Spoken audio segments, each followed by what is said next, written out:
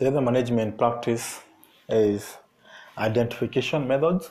Uh, we have a number of identification methods which a farmer can uh, choose to use, and these are branding.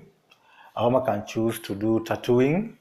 Uh, a farmer can choose to do ear notching, ear tagging, or even painting. The reason why all these are being done is to identify the animal also in terms of record keeping to ensure that each and every animal uh, can, can be identified in a given, uh, in that particular farm.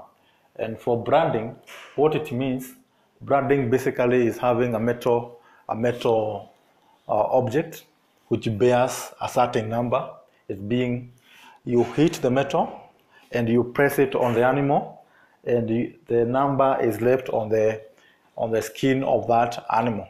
For example, if this is the back of an animal, this is the back of an animal, a metal is being, a hot metal, uh, with, for example, uh, letter T is inserted on the skin of the animal, and that letter T is left on the animal's body, and it's a permanent mark uh, just to identify that particular animal at that particular point. And basically, that is the tattoo uh, branding.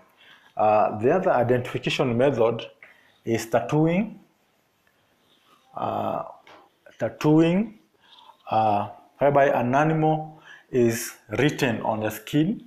Uh, for example, if this is if this is the head of the of the animal, a farmer might decide to to give this particular animal a number and in this case there's no method that will be used uh, it, it will be just a mark that will be drawn on that particular animal's body just to identify that that is animal S.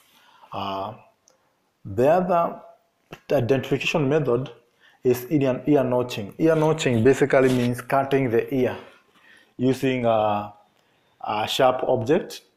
And for example, if this is the ear of the animal, if this is the ear, a farmer might decide to identify a given animal with two cuts, uh, and the, the ear will assume such a shape.